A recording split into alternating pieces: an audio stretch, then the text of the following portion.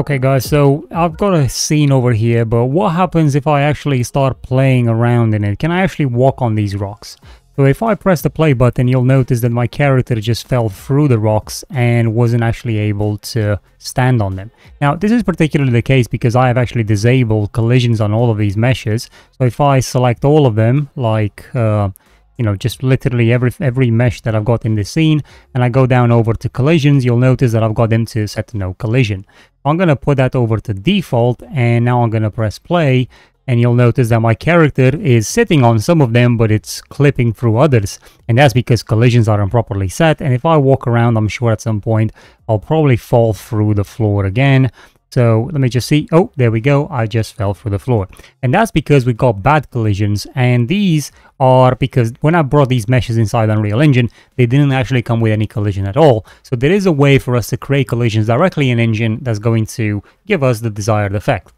So I'm going to first bring a mesh inside Unreal Engine just so you can see the process of that as well. Uh, I know obviously people know how to bring meshes over into Unreal Engine, but this is this the purpose of this particular uh, showcase is more about what happens when you bring the mesh in in terms of collisions. Okay, so I am going to bring my content browser up and I'm going to drag this mesh in here. Now, the questions over here in the you know, import, we were going to be able to build as a nanite, so that's fine. It says generate mission, uh, missing collision, so automatically the engine will create collisions if it hasn't detected any. Uh, obviously, you can't really control how those collisions are being created right now. It's just going to do a decent job at adding some collisions. So I'm going to press import because I'm fine with it to be dropped into the, you know, into, into the engine like that. After it's uh, importing and the building nanite, we will be able to use our mesh. And there we have it. So I'm just going to drag it, you know, into the scene. Maybe going to put it up here and just make it bigger as well, just so we're able to see it. Okay. So this is a massive mesh now. Uh, now, if I um, if I look over here into the panel, you'll notice that the collision preset is set to default as it should be. So if I press play right now, I will be able to fall on the mesh but as you can see, the collision is actually terrible. Like I'm literally floating in the air and I'm walking on surfaces that don't exist. This is what Unreal Engine's automatic collision system does because it doesn't really know any better, unfortunately. Right, okay, so what we want to do is we're going to double click over here onto our static mesh and this will open the mesh into its own editor. Now in here, we will be able to see this convex um, decomposition. But if you don't see it, what you want to do is you're going to go up here where it says collisions and then just say, you know, in, in here you obviously got some options to add some basic shapes as collisions, but you can also say auto convex uh, collision. So with this, we can create a brand new collision. Now, if we go up here again and, sorry, if we go into the show panel over here and we choose simple collision, we will be able to see what type of collision Unreal Engine has generated. And this is what it looks like and this is why it's so terrible and why we were walking effectively in the air because of just how badly this box looks like, okay? It does have it underneath and above as well. Now, one thing to uh, note in here is that you can also use the mesh itself as a collision, so I'm going to show you that in a little bit. But for now, let's have a look at this new panel that we opened in here by clicking the auto convex collision. Now over in here, depending on the options that you select, it will generate a more complex shape to uh, wrap around this mesh. So if we press apply button now, after a bit of time, you can see that a new collision has been created, which is definitely closer to the mesh. Now, if we go back into the level and press play, we will be able to walk on the surface. It's still not perfect, but it's definitely better than what it was. At least I'm not walking into the, into air as much as I used to. Now, if we go back into the editor and have a look at uh, things like, you know, improving the max hull vert. So if we let's say increase this number, you'll notice that you will you will just have more vertices being generated. So again, this is important if you have a lot of crevices like what we do here on this mesh. So I'm going to press apply again. Now, obviously, the more complex that the, the collisions are, the worse the performance it will be uh, overall. So another thing to take note is that in, uh, regardless if we increase the max hull verts, if we're not giving it enough hull counts, meaning these triangles, then it's not going to really be able to use those words. So I'm going to crank this up to maybe like a 22. Uh, I'm then going to click apply again just to see what that looks like. Um, now you can see that these vertices are definitely, these vertices and these hulls, these triangles are smaller and thus trying to follow that shape a bit better. We can also increase the hull precision to allow this to better follow the shape of the actual mesh as as much as you know we go up with these numbers and they will take longer to compute now i can press play again just to see what the effect is now so you can see now that my the feet of my character is definitely following the shape a lot better, definitely a lot less issues. And sometimes you kind of still get these issues over here. So, you know, it's not perfect, but it's still better than what it was. Now, another method of doing this would be to also use the, um, you know, use the, another system, which is basically using complex uh, meshes as collision. If you go in here and you got a complex collision mesh, you can change the collision complexity to use complex collision as simple. And once you've done that, it's actually already, you can see it over there. You see all these small uh, vertices and, and edges in here. This is actually the complex collision generated by the mesh itself. Now you can override the mesh itself by dropping one in here. It's automatically loading the one that it's based on. It's automatically loading itself into as a complex collision.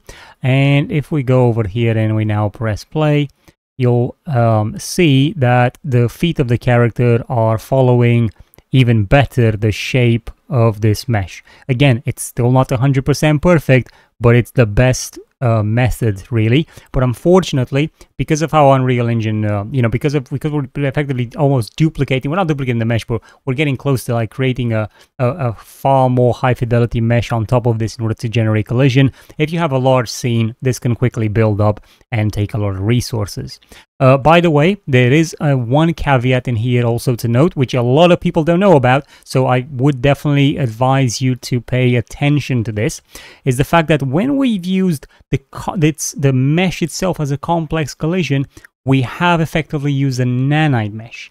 So let me show you what I mean. So if we go back in here and we have a look, this might crash the system, so I'm going to pause the video and start again because it might crash the video, it might crash the engine, sorry, when I do this but we'll see. So what I'm about to do first, just to just to ensure that it doesn't crash the engine, I'm going to change this back to what it was, the project default. So we're now not using the mesh as a as a complex collision.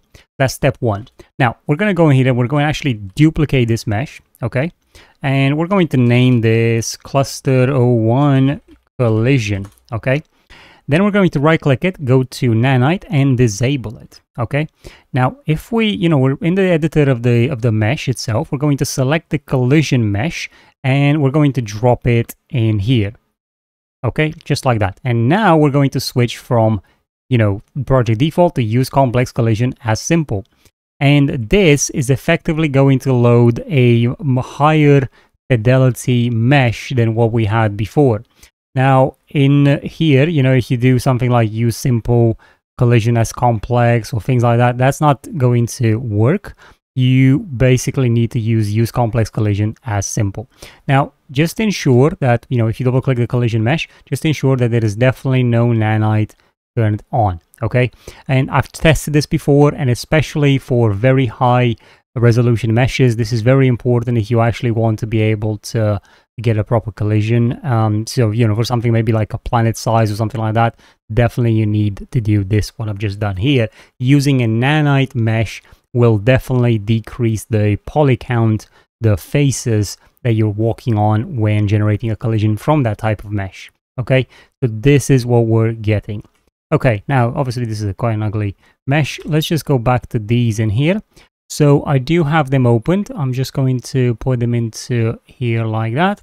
And I'm going to generate new collisions for them. I'm just using some, you know, quite random numbers to be honest. I'm not really looking at it right now. I'm just trying to quickly iterate and get some better collisions than what they had.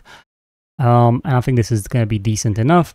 And now if I go up here and press play, you can see that I'm just fine, you know, walking on these meshes, it's okay.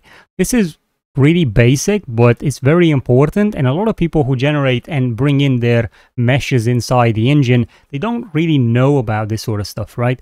And this is what this is a problematic sort of uh, situation because because they don't know uh, about it, they, they just generate, they have very bad collisions generated and they struggle, right? We'll still get some issues here and there. You see, I'm, I'm going in into this one here. I probably need to check the mesh itself. So over probably this one or this one, I'm not really sure. These need uh, collisions regenerated for them because clearly they're not good enough. So I might, might have to like redo them anyway.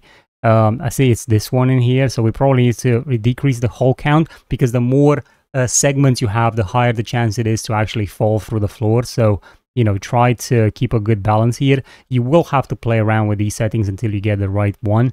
Um, and as I said, if, if everything fails, do try to use a complex collision as large. Oh, I think what's going on here, yep, I have no collision enabled on this one. This was the problem, so I'm going to switch this back to default. You can see in here I had both of these not using collisions and that's why we were getting this issue and I believe yep there we go as well we have this one and that's about it so now we should have particularly good collisions as we walk around. Also when you do increase the let's say the scale of these meshes maybe on the z-axis like that the collision will change itself as well which is quite nice. So it's not just a rudimentary system that only works on the original scale of the mesh, it does actually scale up with the mesh itself, which is really, really cool. So yeah, I uh, hope you guys enjoyed the tutorial. I hope it was very instructional. Uh, please leave a like, comment, and subscribe if you did. Please follow me on Patreon if you want to support the platform further. And all my projects are available on Patreon if you guys want to take a look. Uh, yeah, and I'll see you guys in the next one. Keep creating.